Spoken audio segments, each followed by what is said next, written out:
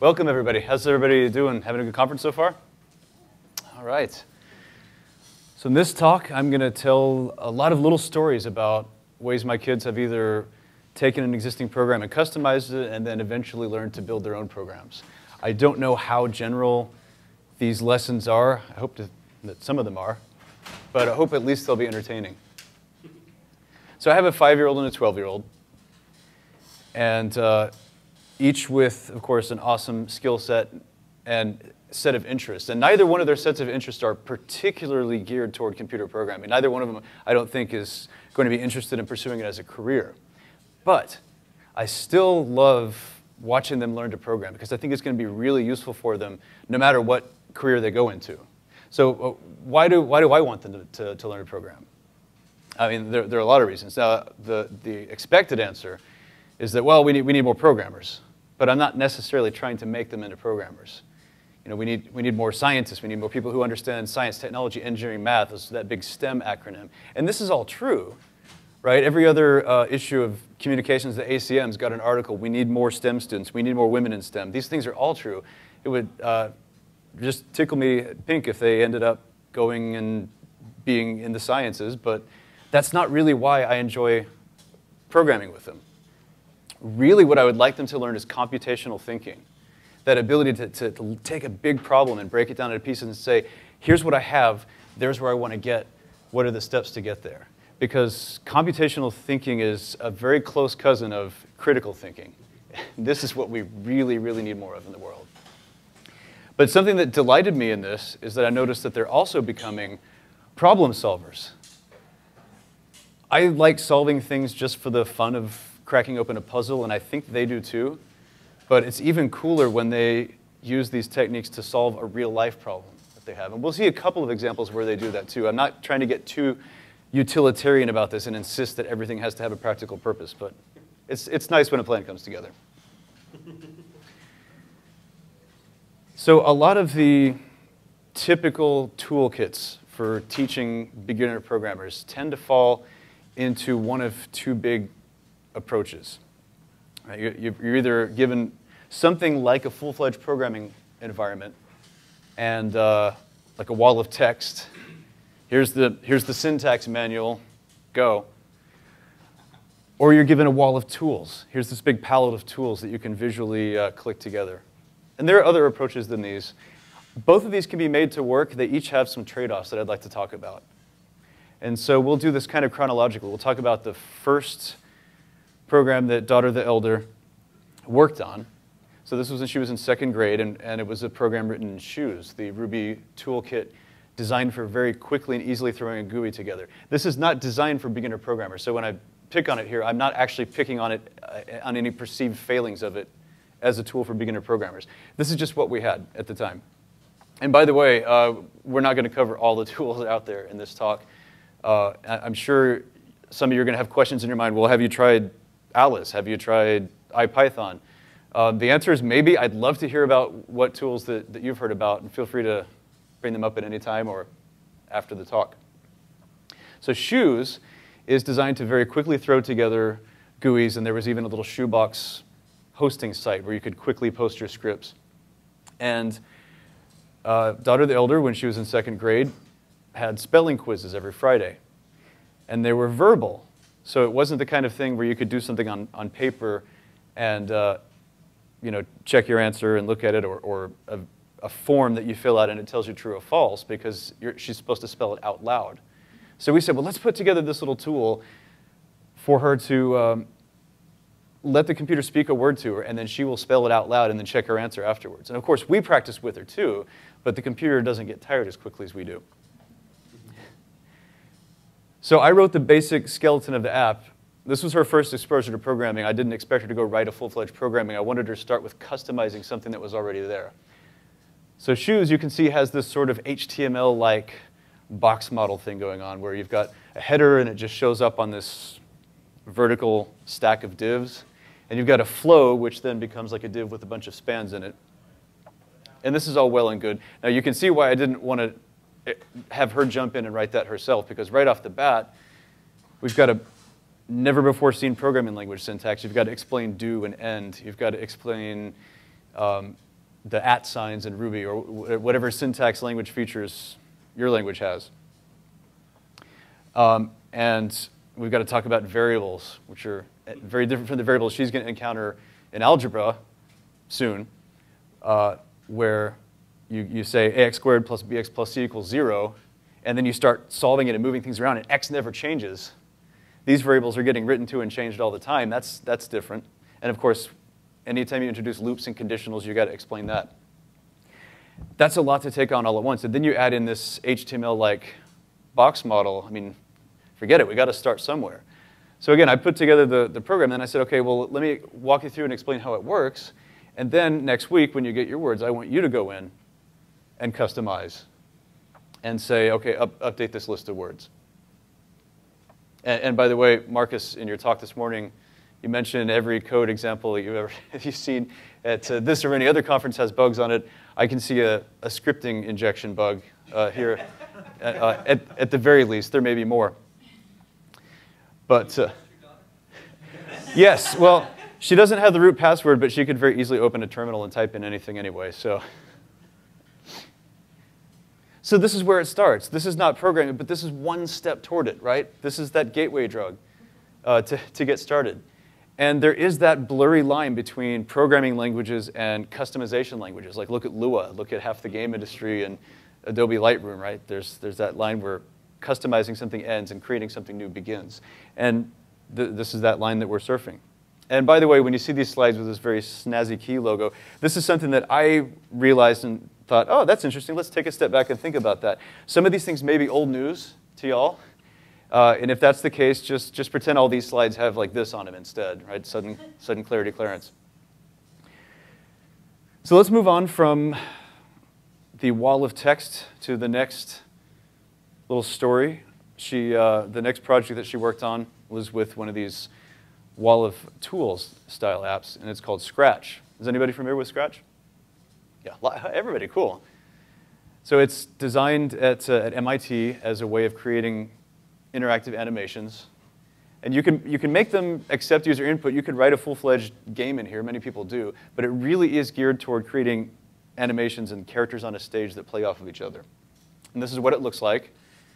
So you create a scene. This is the, where the main body of the program executes. And each character in the scene is an actor or a sprite in, in Scratch parlance and each actor gets their own script.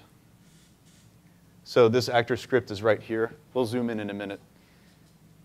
And that governs their behavior. And it's kind of neat. It's sort of like multitasking for free. They don't really have to learn threading APIs to spin up new threads. You just create an actor.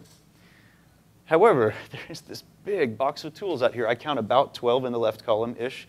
Plus, we're not scrolled all the way down. Plus, there are seven other categories.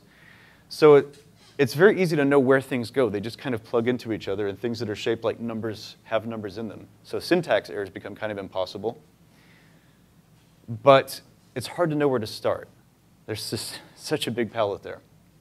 This is what my daughters tend to make with, uh, with Scratch. I, yeah, I know.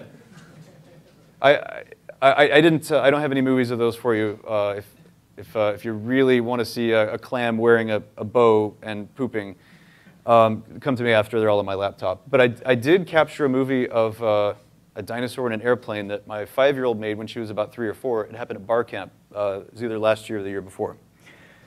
And uh, it, it's a movie that she and a couple of other kids worked on together.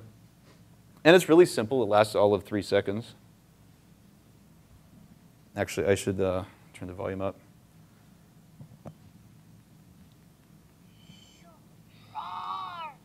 Okay, I don't know if you can hear that, but, but it went it went roar at the end. It's not it's not a web browser, it's not it's not an operating system, but but by golly, they sat down there and they wrote that program together without really much intervention from the adults. And here, here's the program. So it took a little training at first to explain, like basically you start the program by clicking a little green flag, so they know they need this one in here. Um, you, will see a lot of Cartesian coordinates. And they didn't have to deal with that at all because Scratch is really nice. When you drag the airplane to its starting position and then you go, grab this go to, it's pre-filled in with the current coordinates of where it's at. So the, the kid just thinks it is like, go to where I am right now. And they, cl they click into play sound, and they click record, and they start talking and going, and, and all their sound effects, and it just gets recorded in there. And then the dinosaur waits for the airplane to, to finish flying overhead so that he can freely roar. So meanwhile, uh, Daughter the Elder was working on Scratch stuff too, and she's done cool animations with you know, exploding soccer balls and things like that. But the thing that I thought was really cool was, again, going back to schoolwork, uh, a couple years later, they're working on basic multiplication facts, the memorization, those uh, 1 through 10 uh, tables that you showed us this morning, Marcus. Get, getting all those so it's in our head memorized, cached, instead of using a wonder algorithm. And uh, it looks kind of like this. And I'll show you that too.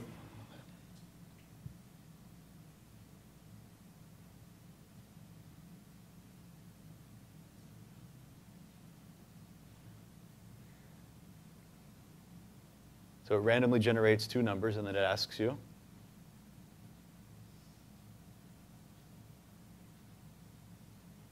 And you get a little prompt at the bottom here.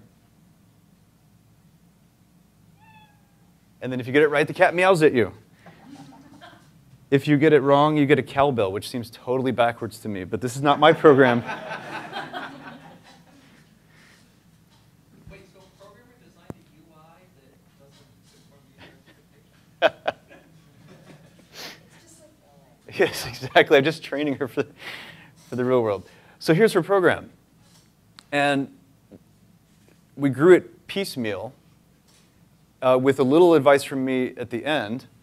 But we started, so let's just start with the canned, you know, pick a couple numbers. And let's say there were seven and five. And I just had her, well, she, she knows how to do this already. She knows how to prompt the user and just say, what is seven times five? And she found the ask and wait. Uh, and then I showed her how to use the, the answer one. She knew how to use the if and else and all this stuff. So she basically just put all this stuff in there. And then I said, OK, that's great. Now we got one, we've got one that asks you 7 times 5 and expects that answer. Let me show you how to generalize that. And again, as we discussed earlier, variables are a bit of a tricky concept to get across at first. So it was a little bit of sitting down and talking about this. And this is where we're starting to see some holes in the abstraction too, because we set A to this random number, we set B to this random number. This is not really a cat doing things. This is really Scratch doing things. And so the, the abstraction is starting to fall apart a little bit, but still, um, once we were past that little bump in the learning curve, she put this together very fluidly and then used it to practice her multiplication facts. Again, supplemented by lots of other stuff, homework and practicing with us. So I don't know how much credit the program gets for improving her math scores, but I'd like to think some.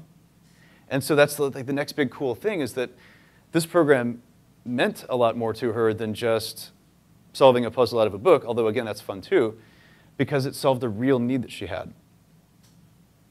And so from there, we've done other Scratch projects too. There's this really cool book called Super Scratch Adventure. And this works you through, it, it's kind of in that tradition of, you know, learn you some Haskell, uh, or sorry, learn you some Erlang, learn you a Haskell for great good. It walks you through a story. And every chapter, there's a, a chapter from a comic book and then an exercise to do at the end to get the hero, Scratchy the cat, out of whatever situation it is. And sometimes you're moving Scratchy around the board, or sometimes you're actually building up a video game. It's a lot of fun. We're not all the way through the book. The exercises are a pretty big step forward in complexity from what we've been building so far. And again, Scratch has that really big palette of available choices. So it's really great for just getting ideas out there and moving characters around and making them react to each other.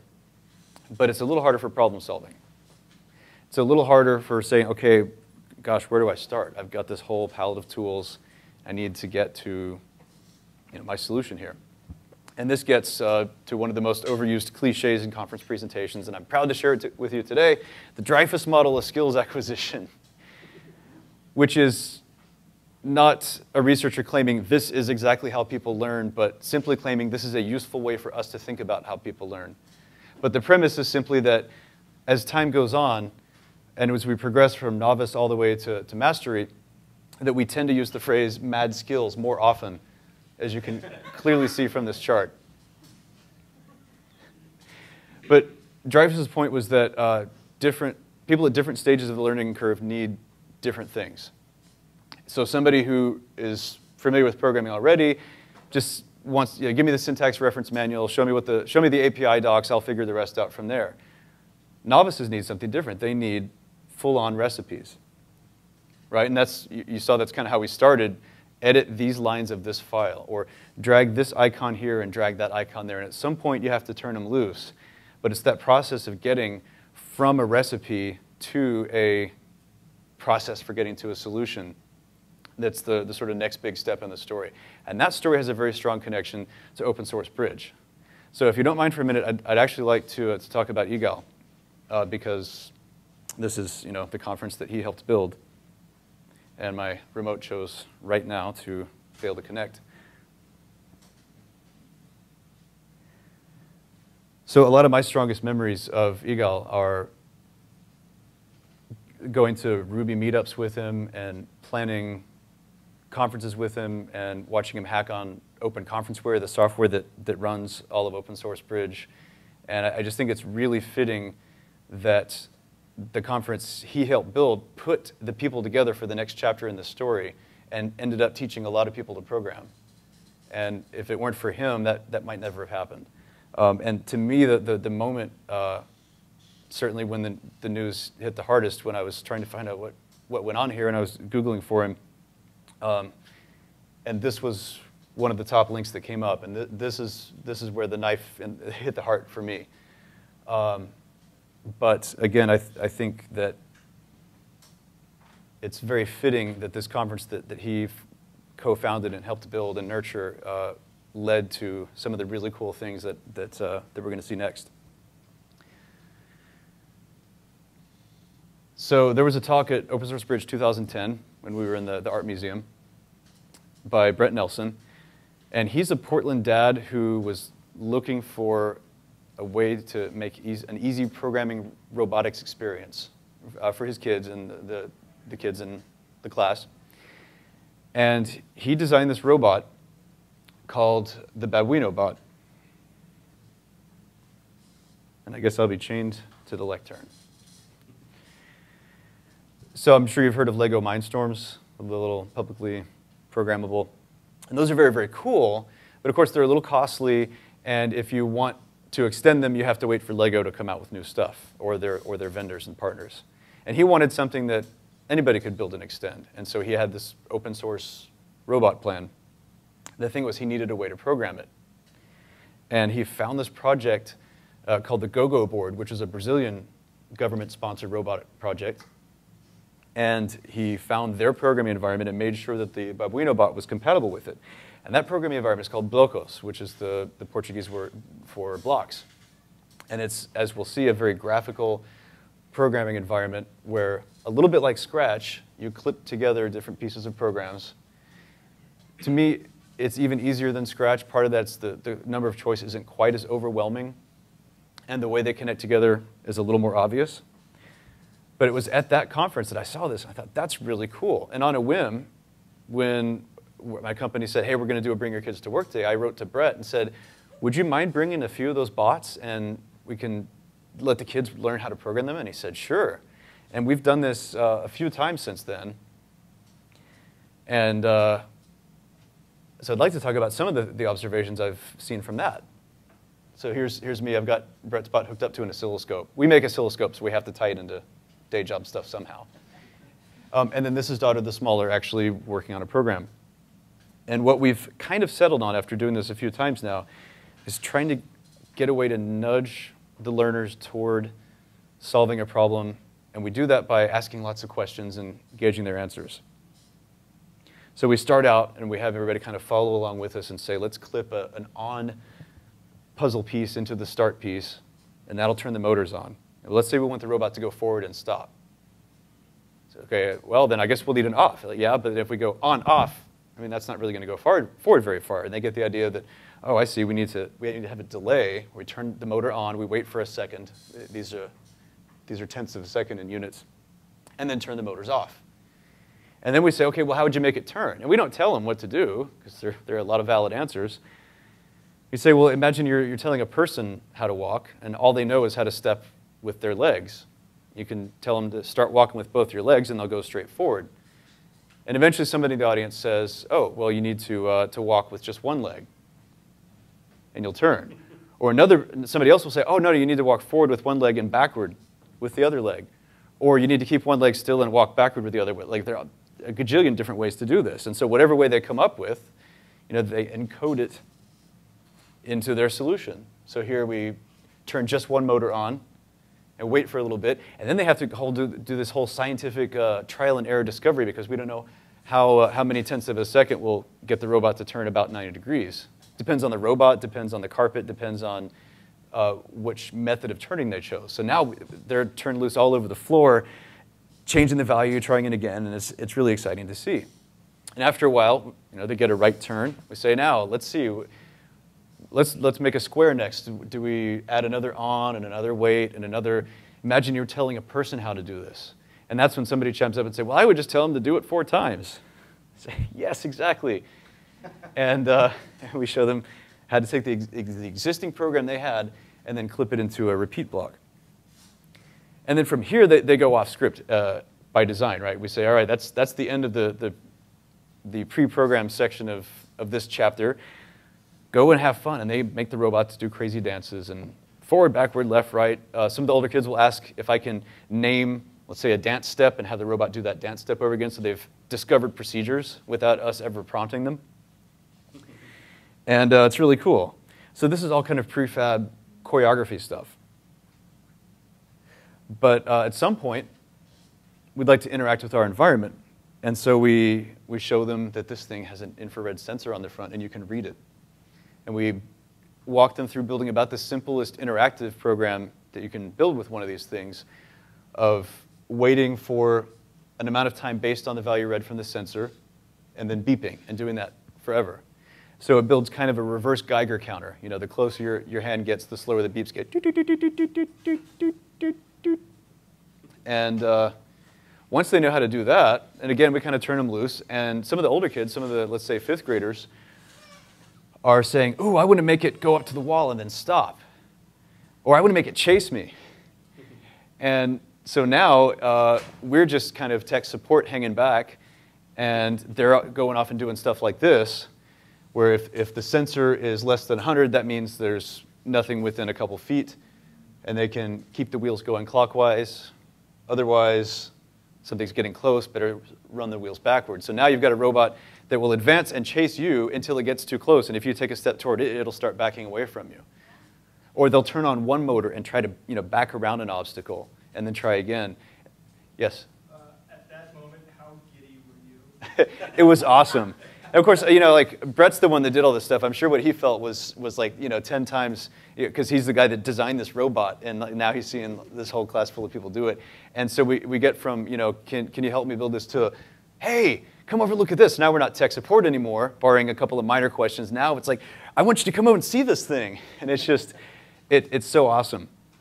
And uh, I think part of it is that Blocos lends itself well to that. I, there's something about just having that simple palette and having that almost impossible to make a syntax error environment that gets them in that mindset.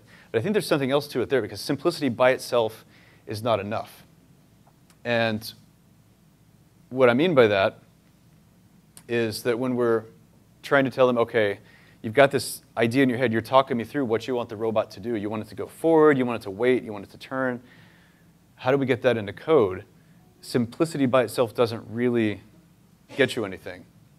And more on that, the author of Mindstorms, that the Lego Mindstorm robots are named after, Seymour uh, Papert, who invented the Logo programming language back in 67, talked about this, talked about the phenomenon of shooting too much for simplicity in a pro programming language above all other goals. And he was picking on BASIC here. like, did I, this is the language I, I cut my teeth on. Uh, anybody else?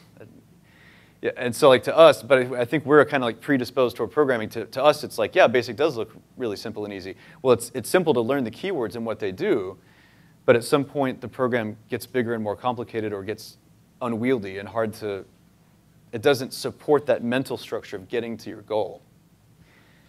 And uh, that's kind of what he's getting at with this. So the alternative right, is logo. And so Logo originally, or at least one of the early incarnations, controlled a physical, actual robot running around on the floor with, with a pen. And there was something, uh, I, this is like the third time I've mentioned Marcus's talk. I think you get a commission if I mention you again.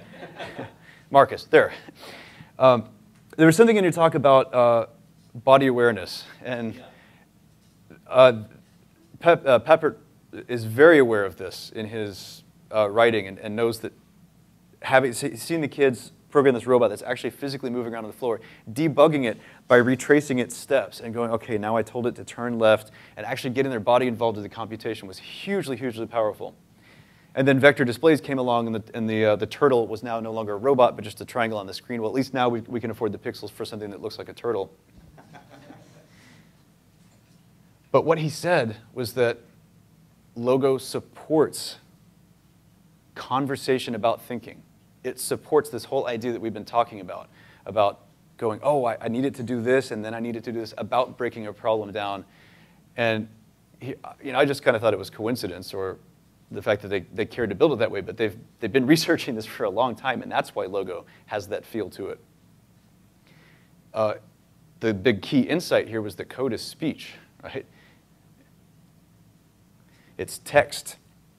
It's something that you can say out loud to your computer. So we figured, why not? So I grabbed a logo interpreter and used my computer's built-in speech to text, sat down, daughter the elder said, hit the function key twice and say forward 100. and she did, and it detected it perfectly, actually. And, uh, and I said, okay, now, now press Command Enter. And then do the next command. And like the turtle moved and responded. I'm like, now do it again. So here she is, dictating an entire square. like, that's really cool. But what she did next really floored me, because it couldn't have been a better segue into the next piece of the abstraction. She typed in, or, or rather said this, spiral. It's like, makes sense. You made a square, now make a spiral. And she's like, well, it doesn't know how to do that. I'm like, you're going to teach it. And she drew a spiral on a piece of paper. This is the actual spiral that she drew. And then I, I added these little dots and said, okay, let's pretend just for simplification, because I'm intellectually lazy, that it's just really a bunch of straight lines stuck together. You know how to tell the turtle what to do. How would you tell the turtle to do this? And she'd say, well, we'll start with a forward. And I said, okay, and you, you know what a right angle is? It's 90 degrees. To me, this looks like about a third of that. What do, what do you think? she says, yeah, that's, that looks like about a 30. So she said, all right, I'll do a forward, forward 100 and a right 30. And you know, I said, well, the next one looks like it's a little less to me. And she said, yeah, let's try, let's try 75 and another right 30 and so on and so forth. And uh, then she, at one point, she didn't like the result and said, ah, I don't know, can we go back? I'm like, I don't know, can you? and so here she is retracing her steps, quite literally retracing her steps in the program, which that was so cool because I, I didn't even bring up the topic of debugging or walking your way through it. She just did it. And uh, started going around some more. At some point, I expected her to say, boy, I'm getting tired of this. I'd like to abstract this. But uh, I, I said, you know, aren't you getting tired of saying this over and over? She's like, no way, this is fun. It's doing what I tell it. like, unlike my sister, you know. so, but eventually I said, can I show you another thing? She said, sure. So I said, wouldn't it be nice to, to say, well, we're doing this same thing all the time, and we're doing mostly the same thing here, we're just changing the amount. You know, we can, we can do that a little more automatically. But I said, we need a name. We need to know what to call this amount. She said, let's, let's call it distance. And I said, okay, dictate this. Make distance 100. And then I said, sorry about this. Also, you have to add a quote mark here. I really don't like that feature of this logo implementation. Uh, a more classical logo, I don't believe you have to do that.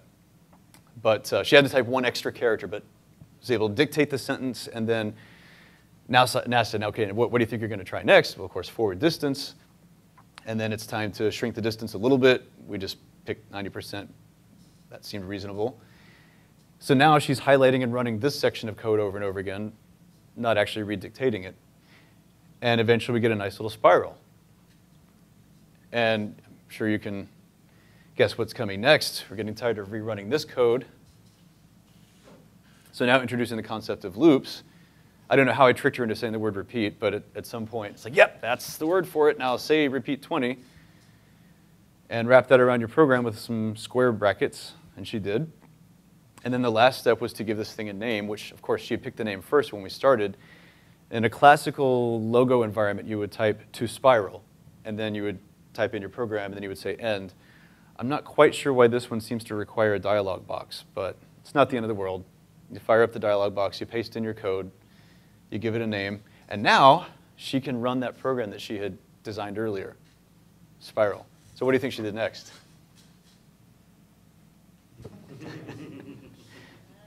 and then she did it again and again and again and said, wow, I keep, I keep typing it in. It keeps, uh, yeah, it's like the, like the old spirograph. It keeps, do, it keeps uh, staying in this track of three. And I said, well, what multiple of 90 degrees did we use? And of course, it also has to do with how many times we, we ran around the line segment. But basically, we're at a nice integral multiple of 360 here, right?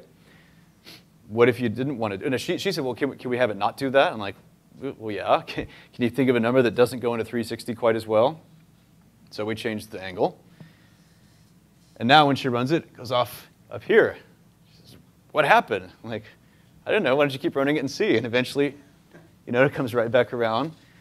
And then she said this.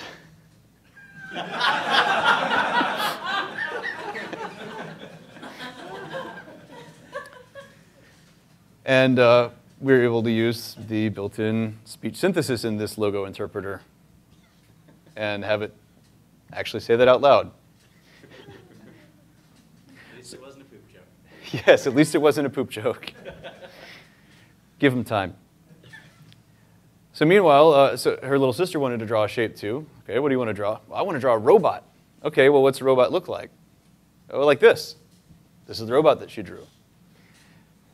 So now we're talking about a lot of jumping around and absolute positioning. We're not talking about that, that sweet spot of logo programming, of moving around. So I didn't have any illusions that, that we're going to you know, get into the intricacies of jumping random access memory sort of around the screen. But I decided to take one baby step towards that. I said, okay, I'll do a quick graph paper here, and I'm going to try to recreate your robot. Is this kind of like the robot you want to draw? She said, yes. I said, okay. She knew how to draw the square. You know, she, we'd seen that. I said, now we need to draw the mouth part, but we need to tell the, the, the uh, turtle to go over here. So how many squares over is that? And she counted, went, okay, that's three squares over. And I said, okay, how many squares up is that? That's two. Okay, and how many squares long is it? Well, that's five. So we repeated this exercise for all the parts of the drawing. So this is neat because we're not really talking about problem solving or drawing a robot. We're sneaking in a lesson about Cartesian coordinates, which she's not going to remember tomorrow, but that's okay because it's fun anyway. And this whole like phenomenon of sneaking in an extra lesson that was like beside the point of the lesson you thought you were going to teach him was uh, Randy Pausch calls this the head fake. Randy Pausch, who wrote uh, the last lecture. So we can teach people things by stealth, right? and, and so that was another, even though I've heard this quote before and, and absolutely love that speech, if you ever get the chance to go uh, listen to it, uh, the, the, last lecture, it's, it's on YouTube. It's fantastic, and I, would heard this before and been steeped in this idea, but it still gets me when I get to see it happen. It's like, oh, cool, she's, she's learning math. I'm not going to tell her. And uh, so then we actually put it together. Now, the dictation doesn't work as well for five-year-olds. I mean, she speaks really well, but the software is just not calibrated for it. And so, you know, she says forward 100, and it says correct horse battery staple, you know. And then that unlocks my, my 1Password, and, you know, she's, she's in all my sites. But um, we, could, we could do this through two-stage dictation, where she would say it to me, and then I would repeat it or type it. So it kind of sort of works, right? But we, we started with the basic square, and then I had to do this stuff because, again, this is not really the sweet spot of logo. I suppose we could have done relative positioning or, or done the trig, Marcus, to, to uh, figure out exactly how many pixels to go here, but I just wanted to get the basics of we're going to go over 3 and up 2, just like you told me when we were looking at your notebook. And that was, that was enough of the Cartesian lesson for the day. But one thing, she said, well, hey, it's not right. Like, yeah, I know. What's up with that? And, she's, and so I, I, pulled out a pencil and I said, let's pretend we're the turtle. And I started to say, okay, we go forward and go this way, and then we go to here, and then we go to here. And she says, oh, you're not supposed to draw those parts. Like, Okay, so we have to tell the turtle not to draw those parts. So now we have to add a pen up and a pen down call around them, and lo and behold, now we have her robot. And this, this whole experiment with the two of them was, uh, couldn't have been more than like half an hour of just sitting down. They'd never seen the environment before, never written a logo program, and, and here they are uh, drawing pictures, especially like Dotted the Elder discovering procedures and spirals and all this kind of cool stuff. And the other cool punchline that, that I like about Logo and about Learning to Program is that uh, that we saw a few minutes ago is actually just a logo implementation. Uh, when you write a program in Blocos, it is actually generating text source code behind the scenes in Logo, feeding that to a byte compiler, and, and sending that down to the Atmel chip that runs on the, the robot. Uh, and then a bucket, uh, a boot kicks a bucket over and the water spills and it scares the cat.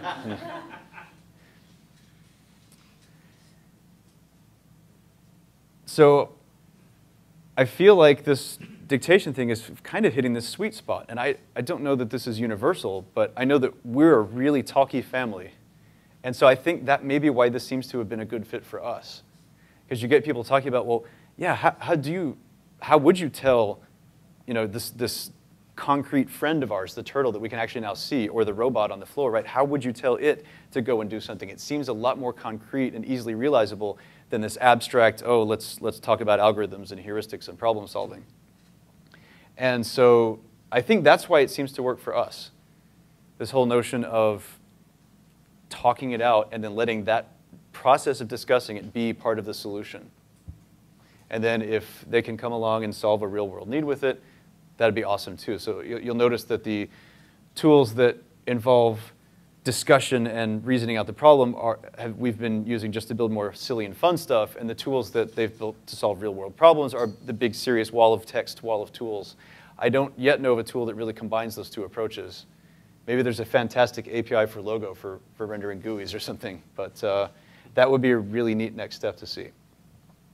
But in the meantime, uh, I just want to really share my gratitude for this conference and for all of you. And if it weren't for Open Source Bridge, there'd be a lot of kids that never would have never programmed a robot. They would never started that journey learning to program. Who, who knows what they're all going to go do with their lives and careers. But uh, I feel really, really lucky to have been here in the right place at the right time to have gotten exposed to part of it and gotten to, to sort of be part of it. And I hope everyone has a fantastic rest of the conference. Thanks for coming, and uh, cheers.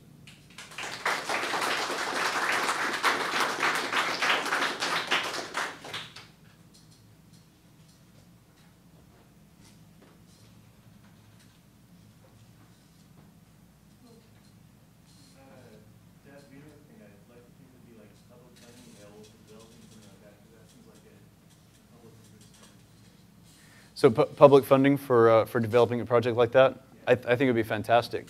It, it's uh, certainly inspired by a publicly funded project because the GoGo board that inspired it was, a, was funded by Brazil. And uh, part of the reason that, that Brett wanted to go with his own approach rather than the repurposing the GoGo was the GoGo was like, oh yes, it's easy to build your own robot. Step one, etch the circuit board as follows. yes, so, so it was something that anybody could do as long as they had access to the right dangerous chemicals.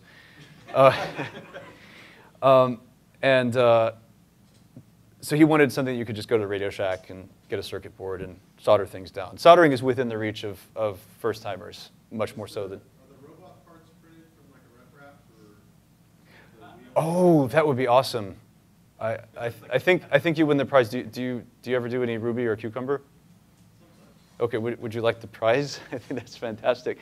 Um, so this is the, the new book I need to cover the mic.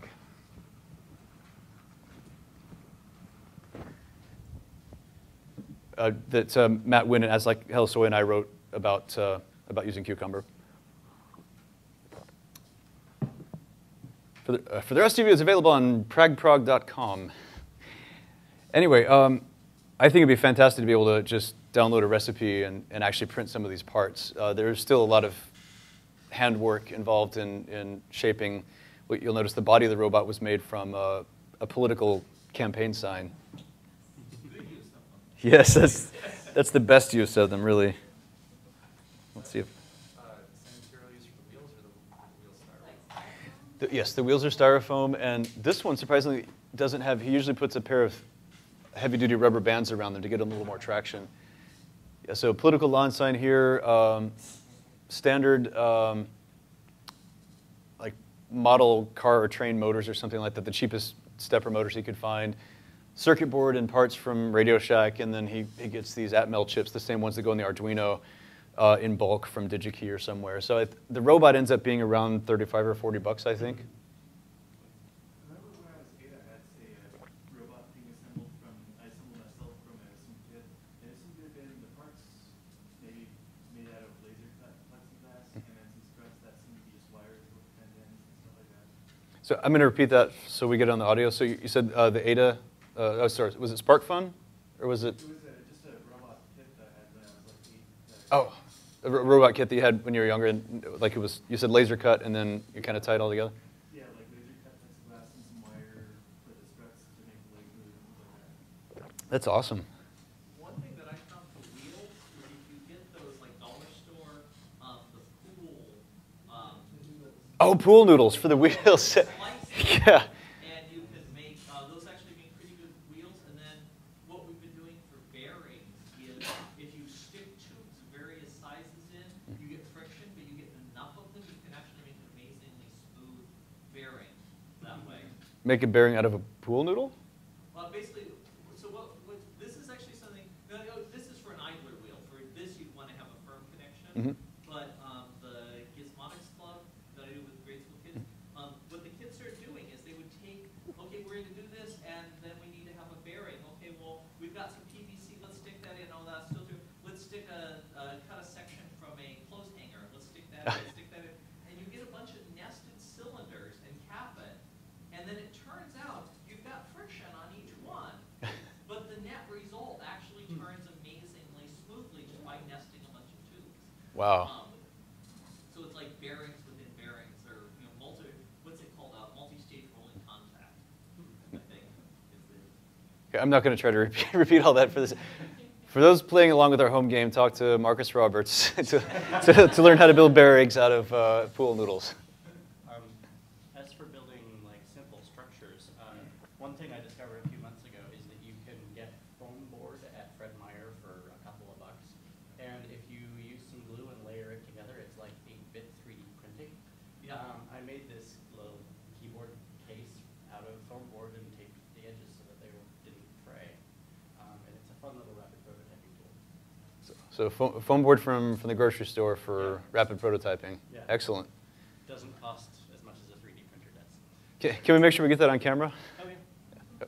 So this is Sam's uh, foam board keyboard case. Very cool.